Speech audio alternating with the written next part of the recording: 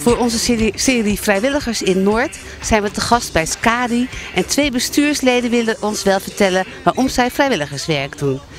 Wie ben jij? Hallo, ik ben Valken Michielsen. Ik uh, ga volgend jaar bestuur bij Skadi doen. En uh, ja, ik loop hier al drie jaar rond. Ik heb uh, gewedstrijd geroeid. Het houdt in dat je zeven keer per week uh, of meer gaat trainen. dus je bent eigenlijk heel je leven is ingericht op het roeien. en daarmee neem je eigenlijk heel veel van de vereniging. Je krijgt boten, je krijgt coaching. Um, en het is, een, ja, het, is, het is een manier om iets terug te doen voor de vereniging. Het is een mogelijkheid die mij is aangeboden. en ik ben van mening dat als je dat aanbod krijgt, als je dat mag doen, dat je dat met volle handen moet aanpakken.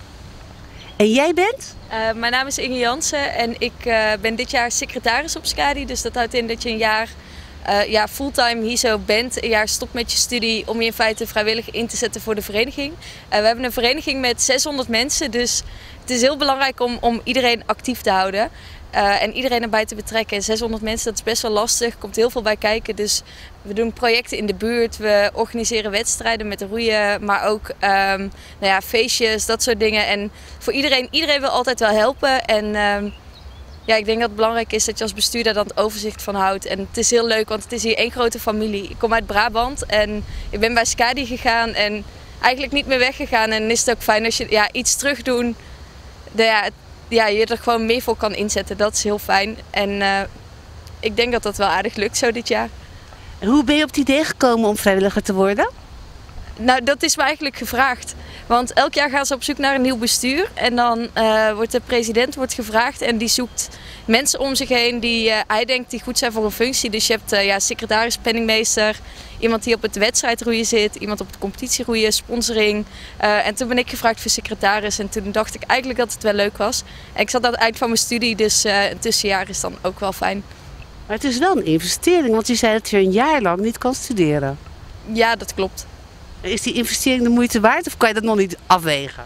Nou, het is zeker de moeite waard. Naast het feit dat je uh, nou, hier een jaar bent, ontwikkel je jezelf natuurlijk ook heel erg. We, zijn, uh, we gaan in gesprek met de gemeente, met het college van bestuur van de universiteit. Dus uh, vooral in het veld ontwikkel je jezelf heel erg met hoe je met relaties omgaat, maar ook met leden, vrijwilligers. Nou ja, je hebt, uh, we zitten met z'n achten elke dag bij elkaar. Dus dat is ook een groepsproces wat je doormaakt. Dus ik denk dat je in de praktijk er heel handig van wordt. Hey, en jij gaat nog beginnen aan deze klus? Ik word dan volgend jaar uh, president. Dus ik moet met mijn bestuur samen gaan stellen. Uh, en dan ga je kijken naar de overdracht. Wat zijn je taken? hoe ga je dat invullen?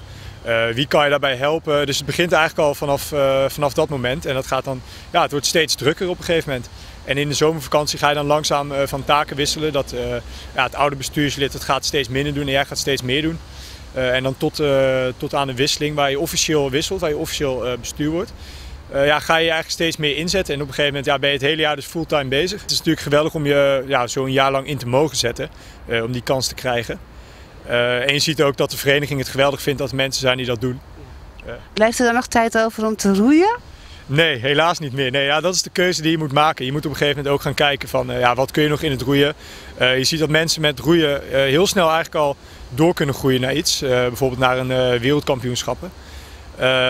ja, en dat is ook prachtig om dat te zien. Maar voor mij is dat dat er helaas niet meer in. Dus dan ga je kijken naar hoe je ja, hoe je op andere manieren kunt inzetten voor de vereniging.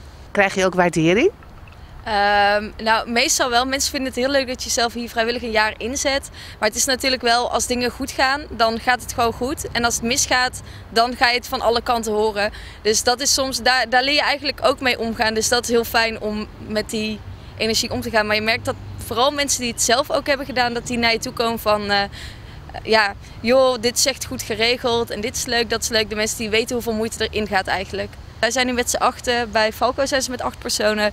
Maar jaren waarin ze maar met z'n vijven waren. En dan, ja, dan moet je echt samen hard werken gewoon om de vereniging, ja, om de continuïteit te behouden. En met z'n achten kan je wel echt stappen zetten in de professionalisering van je vereniging. Dus, maar dit jaar gaat het goed. Dus uh, we hopen dat dit zo kan blijven.